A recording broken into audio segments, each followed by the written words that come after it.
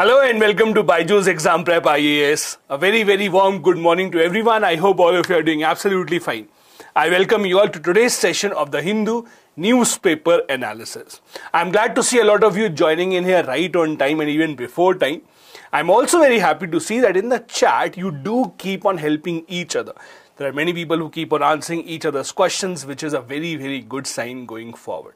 Now, before we begin analyzing the Hindu newspaper for today, there are a few very, very important announcements for all of you. First, as I reminded you yesterday also, today, that is Saturday, will mark the beginning of a new weekly series. That series is called Polity This Week. Every Saturday at 8 pm, we will have a live session on our YouTube channel where we will be discussing some of the most important news stories from Indian polity specifically. Then, there is also one other announcement. As I told you earlier as well, we invite all of you to tell us in the comment section of the videos what are the new initiatives that you would like from our side. And a lot of you have been commenting that you want a new series on science and technology, on environment as well. And we have heard all of this, we have heard all your comments, and that is why from tomorrow onwards, that is from Sunday, there is another new series coming up for all of you. That will be Science and Environment series. The Science and Environment series will be a fortnightly series, meaning that every alternate Sunday, every alternate Sunday on our YouTube channel here at 8 pm, we will have this series where we will be discussing the most important news stories from the field of science and tech and environment. So make sure that you keep a reminder for this and you keep on joining. In order for you to not miss any of the sessions, I advise you all, in case you have still not hit the subscribe button, please do hit the subscribe button on the YouTube channel so that you can get notifications about all these videos and classes going live. And as always, do keep on coming up with the comments in the comment section. Do keep us telling us how your preparation is going, any advice that you require, and also any of the new series that you would like from our end. So let's begin very quickly but before we do that, one other announcement. I am still seeing that a lot of you are still not attempting the Hindu quiz that we do on our Telegram channel. As you know, every single day after the end of this session, we have a Hindu newspaper quiz on our Telegram channel and I want all of you to attempt that quiz as well so that you can check how prepared are you and how much understanding did you gain from these sessions. So as soon as we end this session, you have to move on to our Telegram channel, attend that quiz. To get the link of our Telegram channel, you can use the description given in the video. Now let's begin with the very first article that we have here for you. The first article is based on again the topic of what happened in Tamil Nadu. We discussed it yesterday as well. In Tamil Nadu and in many other states of India, we are still seeing a confrontation between the governor and the chief minister. Just a very quick, brief recap of what happened in Tamil Nadu. As you know, at the beginning of every year, when we have the first session of the assembly, at the state level, we have the governor who makes an address to the assembly where the governor reads out a speech given to him or her by the state government. In this speech, the governor is expected to talk about the government's programs, the government's achievements, and the plans of the government in the coming year. On 9th of January, when Tamil Nadu Assembly was having this first session, Tamil Nadu Governor Mr. N. Ravi was in the assembly reading out the speech, but he did not read out certain portions of the speech, which angered the Tamil Nadu government, more specifically the Chief Minister, which led to a confrontation. In the end, the governor of Tamil Nadu went out of the assembly even before the national anthem was played. Now, this is not the first time that a confrontation has happened between the governor and the chief minister in India.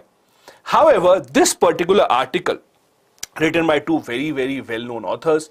They are pointing out towards this tradition of giving an address to the parliament. As you know, India follows the Westminster model of parliamentary democracy. Westminster model means the model that the British parliament follows. We follow the same model in most of our parliamentary proceedings. The reason is extremely simple. The reason is that at the time that India became independent, we were very familiar with how British Parliament works. Most of our leaders had already been a part of the Parliament even before India's independence. Because of that familiarity, we decided to go ahead with the Westminster model of government.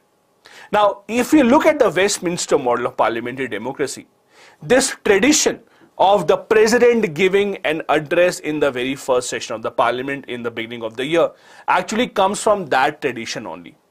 In England, in UK, that is called the King's Address or the King's Speech. We are calling it the King's Address because now they have a king. Earlier it was called the Queen's Address when they had the Queen. So it is the same thing. So the King's Address or the Queen's Address in UK marks the official beginning of the new session of parliament and again it has similar kind of implications as India. The king or the queen is expected to read out a speech given to them by the government and they should not deviate from the speech. In fact, it is a part of Indian constitution as well. If you look at article number 87 that talks about the president's address, look at article number 176 that talks about the address of the governor. So it's a long standing tradition. It's not something that started right now. It has been a tradition ever since India became independent. But the problem is this tradition has been in the news, especially in those states where we have a party which is not the same as the party ruling at the center government level. That is when we have confrontations between the governor and the chief minister. There have been multiple statements given on this topic of the president's address. For example, in 1960, the Prime Minister of India, Jawaharlal Nehru, said that president's address is nothing but a statement of policy of the government. In 1960s, there was a question on whether this president's address or governor's address should be compulsory or it should be optional for the governor to choose from. The Calcutta High Court in 1966 had said that the governor's address is extremely, extremely important. Why? The Calcutta High Court had said that based on the address given by the governor, the members of the assembly come to know about a lot of things about the government's working. Based on that address, the members of the opposition and other members of the assembly can then discuss and even question the achievements of the government. So Calcutta High Court had said that this is extremely, extremely important and this should not be skipped. This is important not just for the government, it is also important for the opposition parties because it gives a chance to the opposition parties to question the government on all their achievements. Now in UK, they have a very long history, a very long tradition of this King and Queen's address. In UK, there has never been any debate like the one that we are having in India. In UK's history, the king or the queen have never deviated from the speech that was given to them. They say the exact same speech that is given to them. In India, however, there have been certain debates. Let me take you back to the Constituent Assembly of India in the Constituent Assembly of India, there were some members, for example, Professor K.T. Shah, they said that the president should be given the freedom to raise some other issues as well in the speech. The president should read the speech, that is fine, but the president should also be given the freedom that if he or she wants to raise some other issues, he or she should be allowed to do that but that was not accepted in the Constituent Assembly. Dr. B.R. Ambedkar, for example, was not in favor of this. Dr. B.R. Ambedkar said that no, the president's address is not an address from the discretion of the president. The president is there speaking on behalf of the government. Why? Because, as you know, after the president's address, the members of the parliament discuss that address and when they have to criticize something, they don't criticize the president, they criticize the government. Understand the difference between the two. When the president gives a speech and the members of opposition don't agree with that speech, the members of opposition don't criticize the president for it. They criticize the government for it. So if the government is the one that is getting all the criticism, it is only valid that the government's speech should be read and the president should not speak from his own mind. That is why we had this situation that the president will only speak what exactly is given to him in the speech. If you look at the state level, the governors also are bound by the same. the governors also should read out from that speech as per the Constituent Assembly of India. The role of the governor has anyways been in question for a lot of various reasons. We discussed exactly the same yesterday as well. The role of the governor has changed, has evolved over the years. We have seen usually in those states which are ruled by political parties which are not at the center government, governor plays a very crucial role, a very active role. A lot of times governors are accused of listening more to the center government as compared to the state governments although the Supreme Court has time and time again said that this should not happen. Now, I want you, or I want to take you rather, to a history of this president's address concept. This concept of president addressing the parliament or governor addressing the parliament, we don't really talk a lot about it. It is just because the topic is in the news, we are discussing this so much in detail. But usually in Indian polity, we just read it as a one line fact and we go ahead. But it is a very interesting concept. Article 87 says, at the commencement of the first session of each general election to the House of People, that is the Lok Sabha, and commencement of the first session of every year, the President shall address both houses of Parliament assembled together and inform the Parliament of the causes of the summons. There's a very interesting fact here as well. In the original constitution, Article 87 had said that the president should address the parliament at the beginning of every session.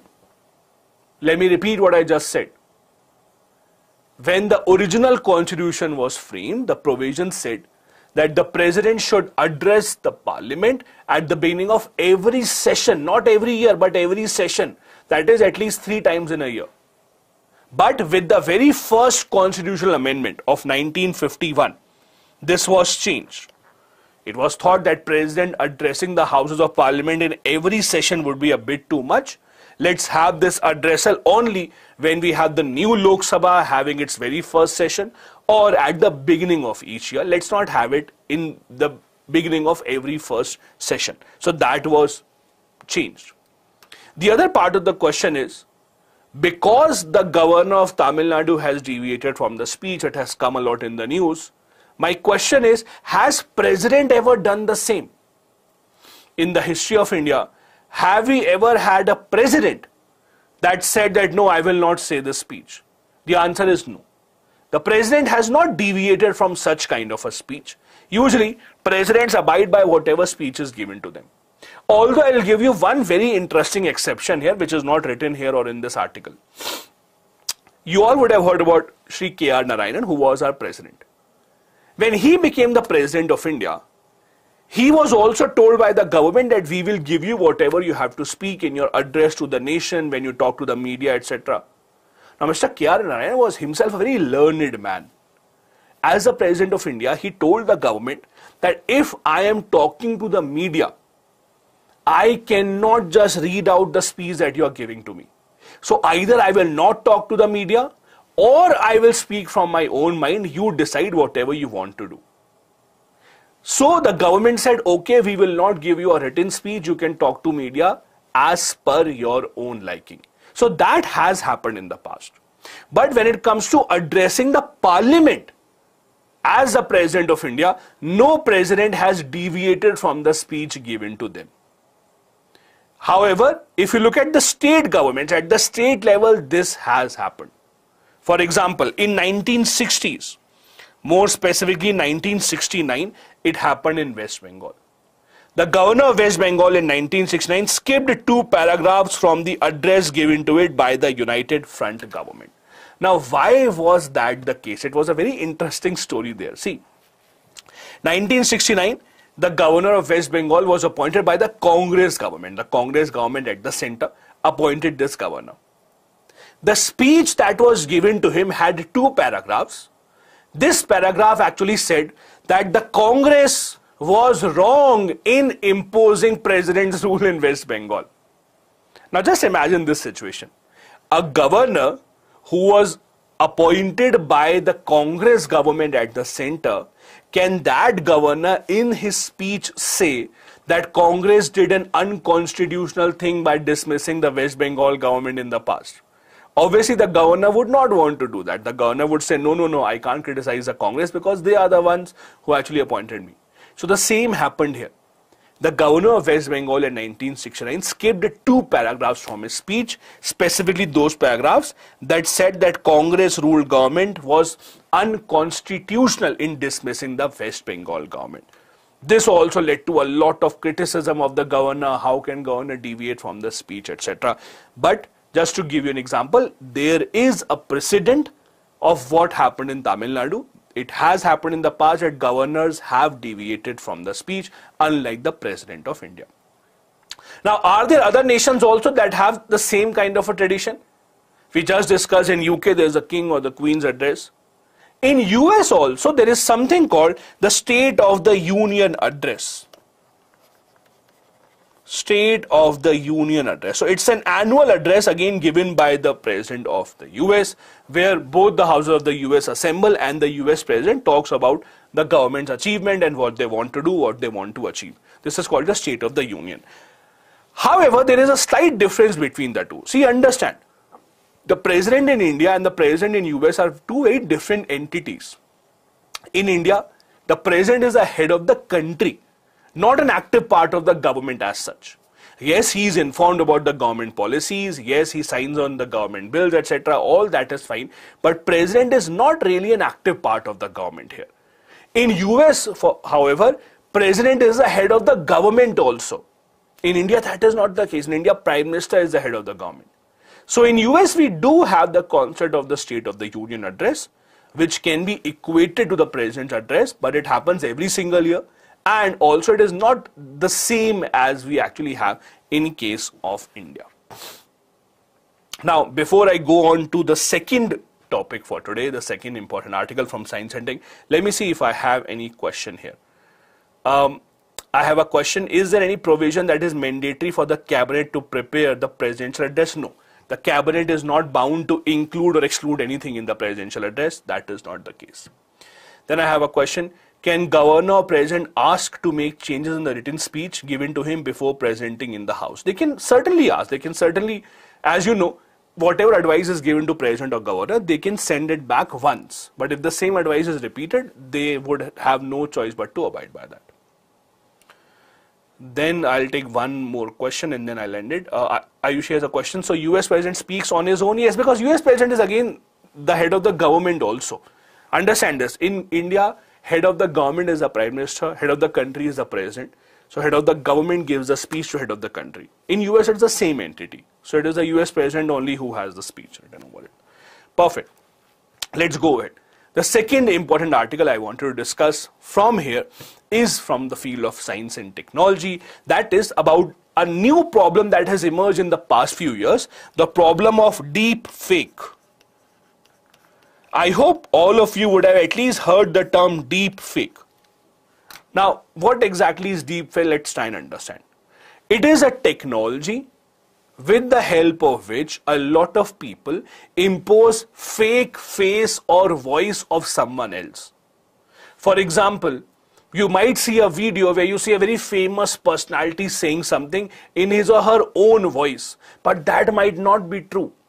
That is called deep fake when you go so deep into a technology that it becomes very difficult to identify whether it is a fake personality or a real personality, that becomes a concept of deep fake. With increasing advances in the technology, increasing advances in artificial intelligence, machine learning, deep fake has become so good that it is now becoming almost impossible, almost impossible to actually identify whether the person is right or wrong. I'll give you a very simple example. Okay, let's try and understand this. Let's try to take this example. Let's say you get a video call on your WhatsApp. Okay, and you see in your video call it is your mom or your father. Okay, and they are saying they are completely talking to you normally and they say that I need some help. Uh, can you please transfer 50,000 rupees? If you're earning, you have a good salary, you won't mind. You say, okay, mom or dad, I'll transfer the money to you, right? And they'll say that I'm in the middle of an accident or I'm in the middle of the road. I need this money. Can you please transfer? You have no point to question whether it is right or wrong. You have this video call, it is your mom, your dad, you can identify them, the voice is there, the face is theirs. You will not question them, you will just answer the money.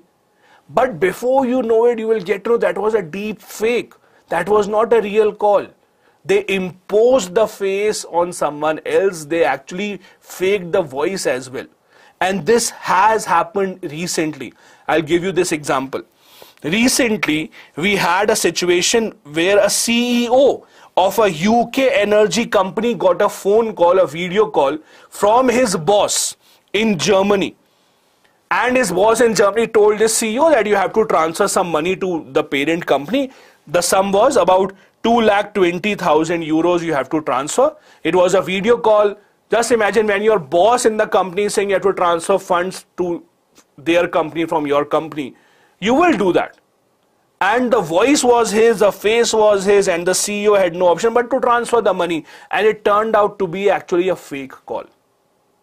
There have been multiple such videos that have come around. For example, a few months back, there was a video of the president of Ukraine Actually, the video said that he is telling his soldiers to surrender. But again, that was also fake. He did not ask his soldiers to surrender, but that was the video that was being circulated. It seemed like a very, very real video. All of that is because of AI and machine learning becoming so good at their job that they are now able to replicate something entirely that they want, and that is what is leading to problems all around the world. There are multiple examples in there. For example, you see recently, Taiwan has also understood the fact that China can actually meddle in their elections. As you know, Taiwan is a robust democratic country. They have proper election unlike China. They fear that China might interfere in their elections. China might want their supporters to win in Taiwan so that it becomes easier for them to overtake Taiwan. So Taiwan recently passed a law saying banning deep fake videos or images or punishing people who do that. China has also passed the same kind of a law here. So there have been multiple examples of these deep fakes actually going around. In India also you see so many videos of celebrities, politicians, etc. going around saying things which they have not said in real life. All that comes under the category of deep fake. Now, the authors here say because this has become such a big problem, it is time for the government of India to realize this. Before it becomes too late, we must pass a law against it. Now, in India, right now, we do not have any specific law against deep fake technology. We do have the IT Act of 2000, the Information Technology Act. We do have the Representation of People Act that talks about not spreading misleading information in the context of elections, etc. But no law in India specifically talks about deep fake technology or specifically talks about impersonating a very famous personality. So the authors say that this is a time that we should be one step ahead. Rather than waiting for this kind of a thing to happen in India, we should go ahead and learn from other nations who have already passed the law. Which are the nations that have already passed the law? Taiwan and China. I gave you examples written in this article. I'll give you some other examples which are not written in this article. Let's talk about European Union. European Union, in fact, realized this problem very soon and they put the responsibility of stopping deep fakes on technology companies themselves. European Union has passed a law saying that technology companies such as Google, Meta, Twitter, all of these have the responsibility of stopping and countering deep fakes on their platforms. If they are not able to do that, if they are not able to stop the problem of deep fakes, then we would impose a fine on them. The fine can be up to 6% of their annual global turnover, which can be a huge, huge amount. These companies have a global turnover in billions and billions of dollars. 6% of that can be a huge cost. So European Union has imposed this code that you have to, as companies, you have to take responsibility of stopping this problem. We even have this kind of a law in US as well. The US introduced a deep fake task force act to counter the deep fake technology. In India, as we discussed, there is no specific law for deep fakes. We do have certain acts, IT Act, which talks about these kind of issues, but they have to be amended to include these issues of deepfakes in order for the law to become even more effective in case of India. The next important news from today's Hindu newspaper is from the economics section.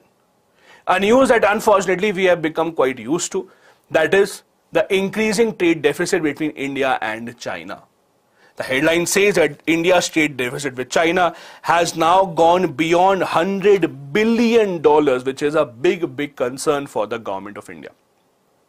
The article says, as per the latest numbers, India China bilateral trade has now reached close to $136 billion, out of which India's exports to China are very low. India's exports to China are only $17.5 billion.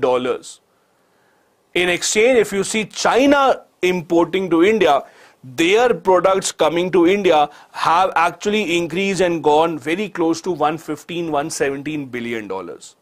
Meaning that right now there's a trade deficit of 100 billion dollars. Now there are two big concerns that India has. First big concern that China's exports to India are increasing. We are buying more and more things from China. But to counter that, India's products to China are not increasing. In fact, our exports to China fell from $28 billion to $17.5 billion. So at a time that we are saying that the Chinese technology is bad, we should have Atmanirbhar Bharat, we are focusing on making India, etc. But at the same time, at the back end, if you see the trade between the two countries, it is at an all-time high and even the trade deficit is at an all-time high. The problem is that there are a lot of things for which India is dependent on China and there is no alternative right now. For example, we are dependent on China when it comes to APIs, active pharmaceutical ingredients. Now, what exactly is this? Active pharmaceutical ingredients are the ingredients using which the medicines are made. As you know, India is a generic pharmacy of the world. We make a lot of medicines and supply it throughout the world, but the components to manufacture those medicines, that is the APIs, they come in mainly from China. We are also dependent on China when it comes to electrical and mechanical machinery. Most of our electronics still come from China, although there have been a lot of companies that are now trying to manufacture the electronic products in India. But a lot of that still comes from China. Auto components, medical supplies, all of that is coming from China. Now, there are two ways to look at it. One way to look at it is that yes, it is bad, we should not do this. But you cannot just blame the government for their policies. Understand this from individual point of view. Let's say you go to the market. This is a very real example. Let's say you go to the market right now and you have to buy a washing machine or an air conditioner, refrigerator, whatever. Let's say you buy a washing machine. Now, the washing machine, when you go to buy, there are two options. One option, it's a Chinese company. It's a made in China product. That washing machine will be 25,000 okay now in place of that you have an Indian washing machine made in India exactly the same features exactly everything remains the same there is no difference but that will cost you 30,000 rupees now tell me very honestly which washing machine would you go for very honestly tell me which washing machine would you go for would you stand there in the shop and say no no no i will not buy made in china products i will only buy indian products even if i have to give more money would you do that no, you will not do that. Because your thinking will be, let me save money. Let me save money because 5000 can be very handy.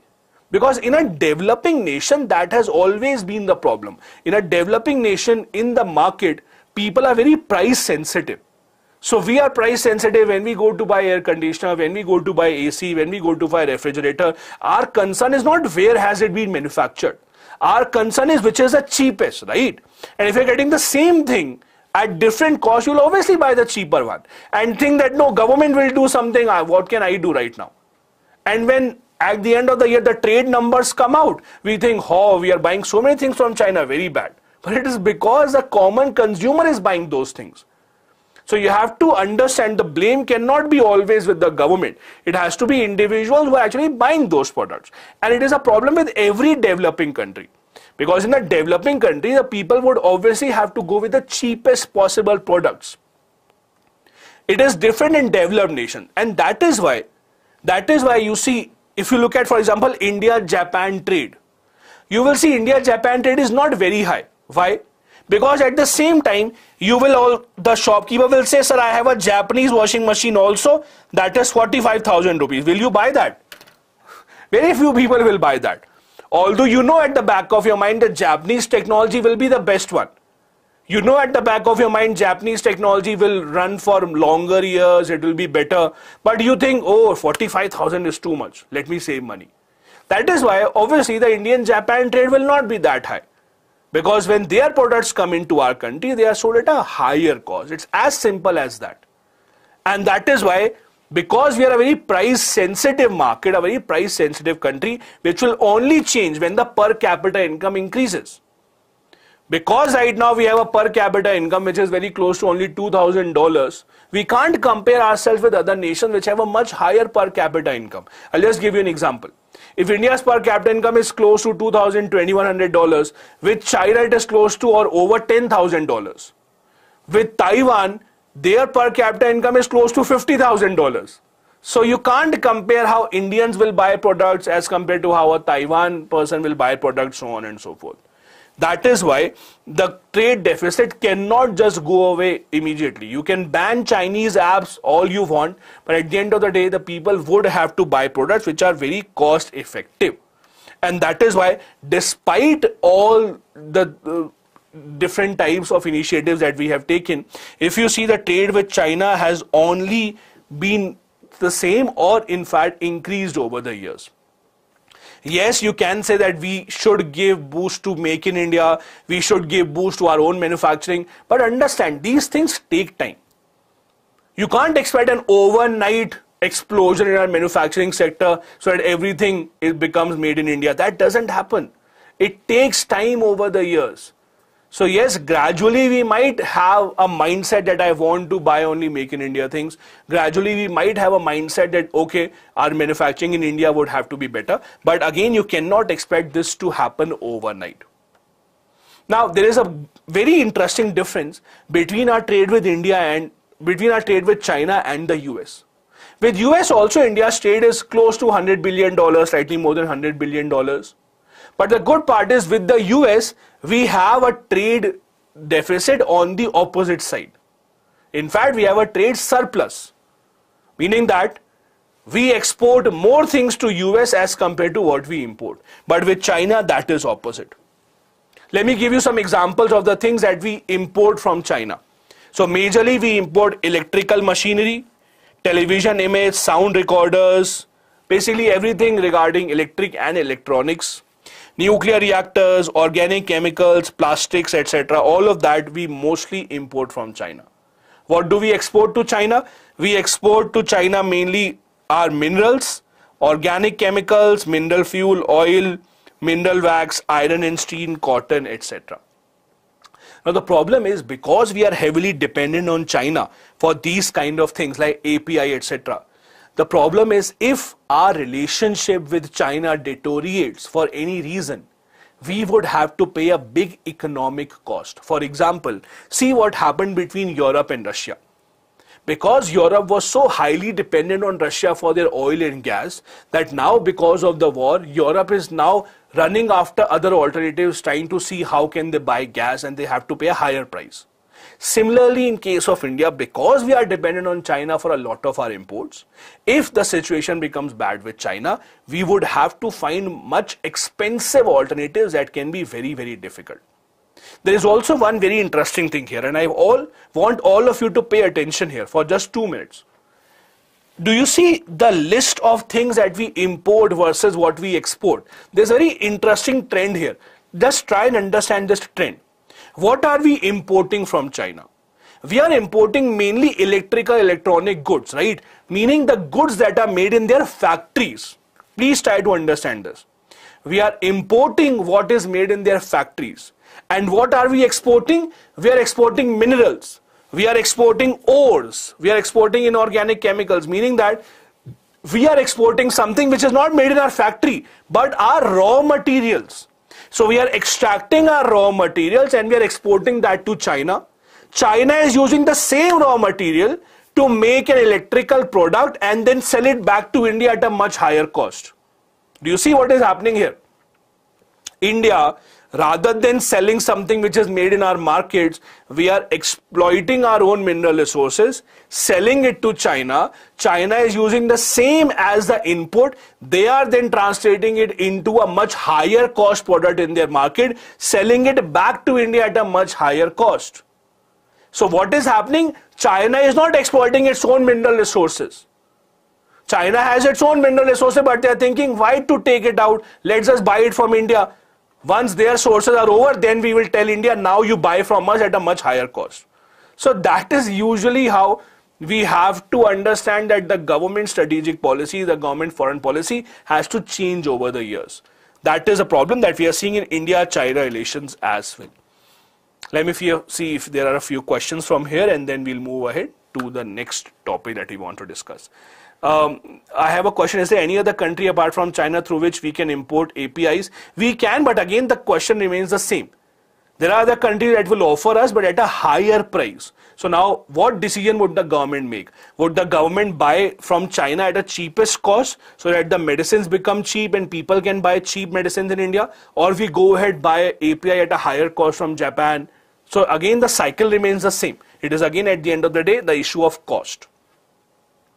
Then I have a question, reason for decline in export from India, because as you see here, India mainly exports mineral resources here. So our export to China really depends upon how many minerals can we actually ex extract from our sources. That is where the problem starts. Also, because uh, because China right now is going through an economic downturn because a lot of lockdown activities have been happening. So maybe they don't require as many minerals as they required earlier from India. Then I have uh, uh, another question. How can we address this to manage our resources? Again, see, it's not that it's a secret that I, I, that I only know this problem and you only know this problem. Bureaucrats, the people who are running the government are much smarter than us, so they also know this problem. I won't say that I only know the problem and government doesn't know it. They also know it. It's not a secret. The point is that nothing can change overnight. You have to understand this. It doesn't change overnight. Yes, the government has been taking certain steps, giving a boost to our manufacturing sector, giving more skills to the people in India. But again, understand something. India can never be China. In fact, no country can be China. Because see, the way that their country, their government works is very unfair to their people. See, I'll give you a very simple example. When the COVID-19 began, China had this policy that if, let's assume, there was a mother who became COVID positive and the mother had a two month old child, the mother was taken away by the government and the child was separated. The government said, We will not let you see the child. We will keep the child for 15 days. When you become negative, we will send the child back to you. As simple as that, no questions asked. Do you think that kind of a policy can ever happen in India? Can the government say we are taking away the mother, we are taking away the child, now you go, you become negative, then we'll bring you the child back? Would it ever happen in India? No. The way that Chinese government works, the way that Chinese government applies their policies is very, very different. If the Chinese government says that you have to work for 12 hours a day, full stop. If you work even one minute less than 12 hours a day, you will not be kept alive. Do you think the same can happen in India? Obviously, no. It can't happen in India. So the outcome that Chinese economy and Chinese government has can never be equated to why we are not having it, why other governments don't have it. Because let's hope that we don't have it. Because our way of functioning, our democracy is very different as compared to their country, their Chinese country, Chinese economy. They have a one party government they have a one party political system. People don't have an option to say to the Communist Party that we'll vote for some other party next time. No, they can't. And that is why the Communist Party can follow whatever policies they want. So if they are giving subsidies to people, if they are forcing their people to work longer hours, we can't do the same in our country. So yes, we can improve, Yes, we can give more skills to our people. Yes, we can give a boost to our manufacturing sector, but it's not that easy. Understand this. For anyone in India to, or for a government in India to establish a factory, it will take a long time to acquire the land. It will take a long time to convince the people. In China, if they want to open up a factory, tomorrow everyone will be forced to go out of their houses and factory will be built in 10 days. Why? Because government doesn't listen to people in India, government will have to convince people, announce this, announce that, then you will have to see if there are activists that are coming in, then the case will go to Supreme Court. Then after five years, we will see if the factory can be set up or not. But in China, that is not the case. It happens overnight. So when you say, oh, China is such a great country, they are building a metro station in 10 days, highways in 10 days, understand this. They are doing this because they can't have any opposition from the people. Let's go ahead. The next topic is from the first page, the main page of the Hindu newspaper. That is the Supreme Court making a statement.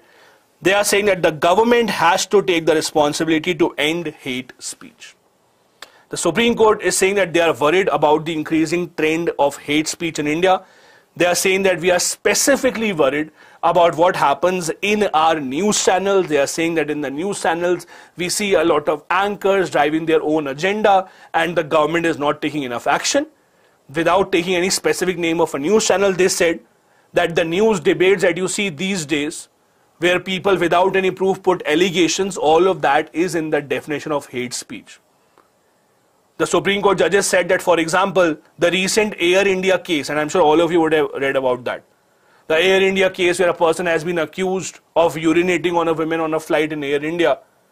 Now, the point is that yes, it's a bad thing, it's a very, uh, it's a thing that you can't even talk about. But the fact is, as per the Supreme Court judges, this is a case that is still being heard. The person is an under trial. Nothing has been proven so far. But even before that, you see the people coloring that person as a demon, as someone who is who has committed a terror crime in news channels. If you see the kind of names that is given to that accused, the Supreme Court says that it is a very worrying trend.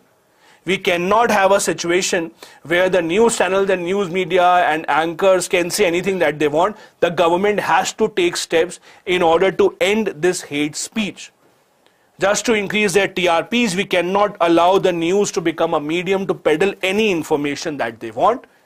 The responsibility lies with both the government also and the responsibility lies with the media also to self-regulate as well. I'll give you an example. For example, recently the Malayalam news channels Media One TV was banned by the Ministry of Information and Technology because of their news coverage. And it is not happening for the first time. They were banned earlier as well. So there are multiple examples of the news channels being banned. There are multiple examples of the news channels actually peddling fake information.